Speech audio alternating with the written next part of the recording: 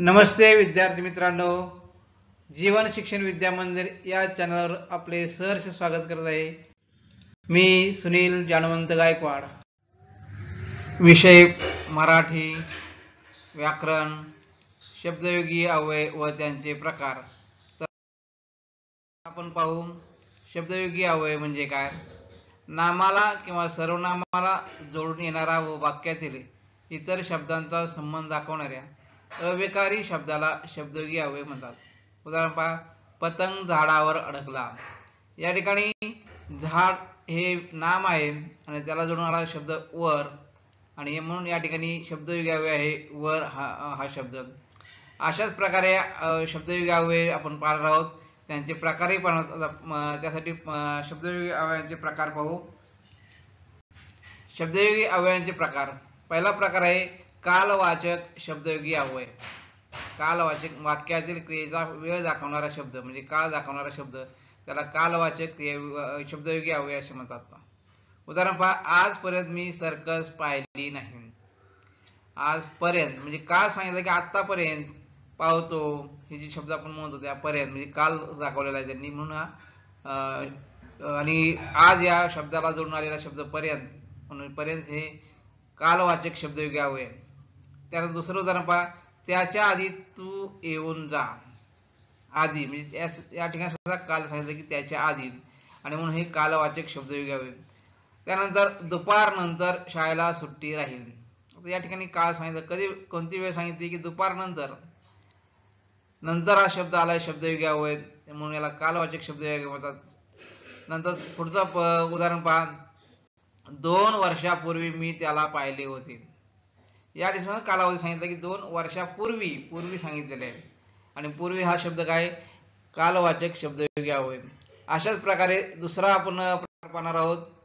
स्थलवाचक स्थल म्हणजे ठिकाण. वाक्यातील क्रियेचे स्थल ठिकाण जागा दाखवणारा शब्द म्हणजे स्थलवाचक क्रिया शब्दयोगी अव्यय आता पहा पुस्तके कपाटात ठेवली आहेत. आता या ठिकाणी कपाट अधिक आत आत हे या ठिकाणी प्रत्यय लागलेले आहेत.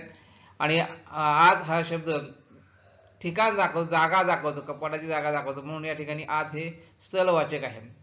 शहराजवळ नदी आहे. पहा या ठिकाणी ठिकाण दाखले शहराजवळ. म्हणजे जे स्थान किंवा जागा दाखवणारे शब्द त्याला आपण काय म्हणतो? स्थलवाचक. म्हणून या ठिकाणी जवळ हे स्थलवाचक शब्द अव्यय आहे दवाखान्यासमोर मंदिर आहे. समोर हे सुद्धा शब्दयोगी अव्यय आहे.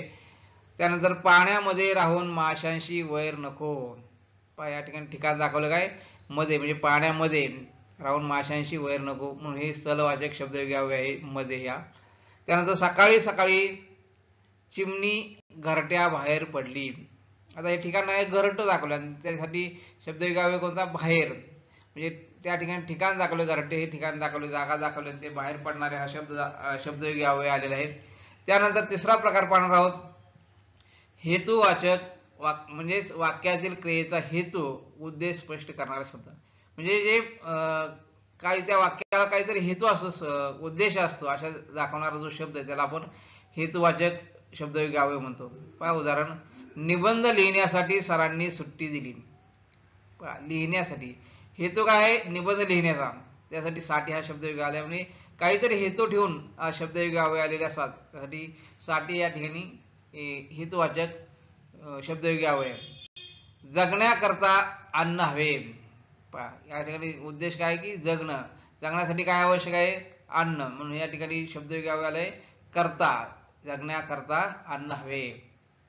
कामास्तव तो पुण्यात राहतो. आता पाहिजे त्याचा हेतू काय आहे की काम करणे हा हेतू आहे आणि त्यासाठी त्याला कुठं राहावं लागतंय? पुण्यात.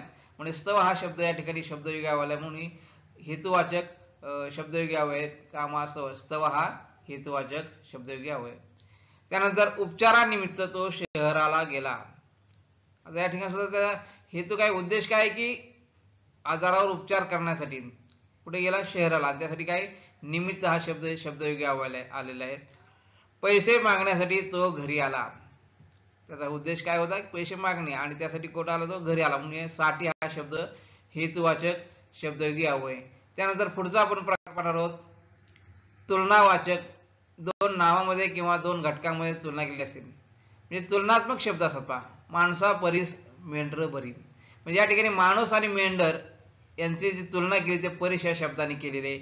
आणि म्हणून हे तुलनावाचक शब्द हवे आहे सुधीरपेक्षा रोहित हुशार आहे. या पेक्षा शब्द आलाय पहा या ठिकाणी. म्हणजे दोघांमध्ये तुलना दाखवली की सुधीरपेक्षा म्हणजे सुधीर आणि रोहित या दोन नावामध्ये तुलना दाखवलेली आहे आणि तुलनापेक्षा तुलना पेक्षा या शब्दाने दाखवली म्हणून पेक्षा हे काय तुलनावाचक शब्दयोगी आहे त्यानंतर पुढचं पहा मुलांमध्ये गौरी उंच आहे. आता या ठिकाणी उंचीची तुलना दाखवलेली आहे की अं, ज्या मुली आहेत त्या मुलीमध्ये गौरी नावाची मुलगी ही उंच आहे आणि त्यासाठी शब्द वापरलायमध्ये. मध्ये हे काय शब्दयोगी आहे तुलनात्मक तुलनावाचक शब्द आहे त्यानंतर पपईपेक्षा आंबा गोड आहे. आता या ठिकाणी पेक्षा या शब्दाने सुद्धा पपई आणि आंबा या दोन नावामध्ये तुलना केलेली आहे गोडीची आणि त्यामध्ये पेक्षा शब्द आल्यामुळं तुलनावाचक शब्द अवयपेक्षा आहे. त्यानंतर पुढचा प्रकार पाहणार आहोत. भागवाचक. भाग म्हणजे दोन भाग करणारे किंवा अं, वेगळं करणारे वाक्यातील घटकांचे भाग करणारा शब्द. आता पहा पाच पैकी तीन पक्षी उडून गेले. म्हणजे यात भाग केले पहिले किती पक्षी होते? पाच होते. त्यातले तीन उडून गेले. म्हणजे दोन राहिले असतील. म्हणजे पैकी त्या म्हणजे भाग पाडलेत त्याचे.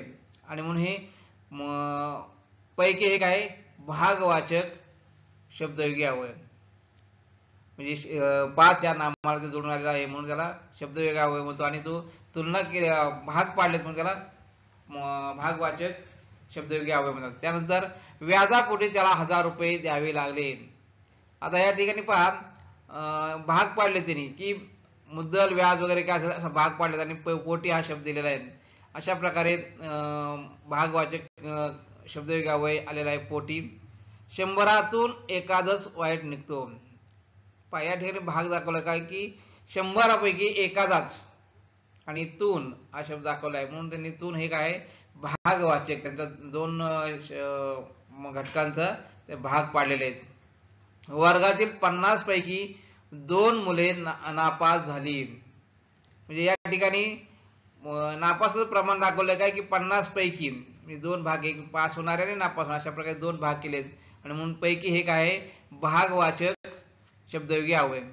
त्यानंतर पुढचा प्रकार आहोत परिमाणवाचक वाक्यातील घटकांचा परिमाण सांगणारा. आता दिवसभर पाऊस कोसळत होता. परिमाण काय सांगितलं की दिवसभर दिवस या नामाला भर हे शब्द जोडून आलाय. आणि म्हणून भर एक आहे शब्द म- परिमाणवाचक शब्द अवयव. त्यानंतर गावभर फिरून गायी घरी आली. पहा या ठिकाणी सुद्धा काही परिमाण शेवटी काय सांगितलं प- की दिवसभर फिरून ती कुठं आली? घरी आली. आणि म्हणून इथं भर एक आहे परिमाणवाचक शब्द घ्यावे. गाव या नामाला जोडून आलेला शब्द आहे. रात्रभर चांदण्या चमकत होत्या. रात्र हे नाम आहे आणि त्याला जोडून आलेला शब्द भर. या ठिकाणी भर हे काय? परिमाणवाचक शब्द घ्यावं. त्यानंतर पुढचा प्रकार पहा. उदाहरण पहा. राहुल रात्रभर जागा होता. आता या ठिकाणी रात्र हे सुद्धा नाम आहे. त्याला भर हे शब्द आला अशा प्रकारे परिमाणवाचक शब्द घ्यावे येतात. त्यानंतर पुढचा आणि शेवटचा भाग पाहणार आहोत. योग्यतावाचक एखाद्या घटकाची योग्यता असण्याची किंवा नसण्याची दाखवणारा शब्द. म्हणजे ते क्षमता आहे का लायकी आहे का हे दाखवणारा जो शब्द असतो मग तो होकारार्थक असेल किंवा नकारार्थक असेल अशा प्रकारची योग्यता दाखवणारा शब्द म्हणजे योग्यतावाचक शब्द घ्यावं. उदाहरण पहा ही पपई खाण्यायोग्य नाही. आता इथं नकारार्थक वा जरी वाक्य असलं तरी त्याची योग्यता दाखवली काय की खाण्यायोग्य नाही. म्हणजे त्याची ला त्याप्रमाणे ती त्याची क्षमता नाही किंवा ती खाण्यासारखी नाही म्हणून योग्य हा शब्द या ठिकाणी योग्यता वाचक शब्द शब्दयोग्य शब्दयोगी अवयव वापरले. ही गाड्या ही गाडी माझ्या जोगी आहे. ही गाडी माझ्या जोगी आहे. म्हणजे त्याची क्षमता दाखवली किंवा त्याची योग्यता दाखवली ही गाडी मला योग्य आहे वापरण्यास योग्य आहे अशा प्रकारे.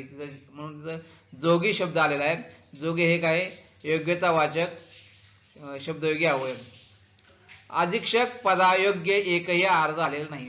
म्हणजे अधीक्षक जी जागा त्या जागासाठी योग्य अशी लायक असा त्या क्षमतेचा एकही अर्ज नाही असं दाखवायचं. म्हणून त्यांनी या ठिकाणी योग्य ह्या शब्दाने योग्यता दाखवलेली आहे.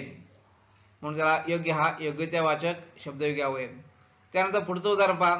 तुम्ही शिक्षक या पदा योग्य आहात. म्हणजे शिक्षक पदासाठी लागणारे जे काही कॅटेगरी असेल त्या कॅटेगरीला तुम्ही योग्य आहात असे या ठिकाणी सांगायचं आहे आणि पदा योग्य योग्य एक आहे योग्यतावाचक शब्दयोगी हवे अशा प्रकारे पाठातील काही शब्दयोगी अवयव तुम्ही शोधून वहीमध्ये लिहून काढा. धन्यवाद.